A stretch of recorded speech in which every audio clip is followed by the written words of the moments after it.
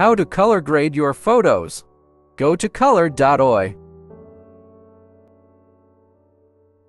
Click on Open Image and select the image.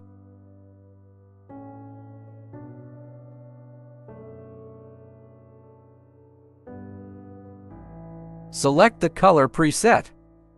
There are a lot of options to choose from. Choose the best one which matches your photo.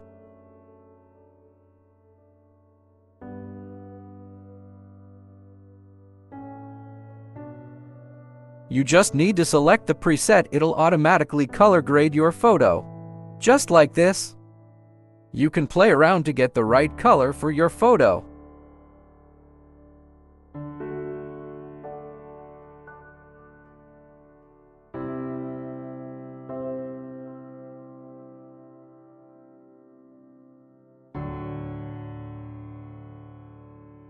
Export the image. You need to upgrade your plan to download the image in higher resolution.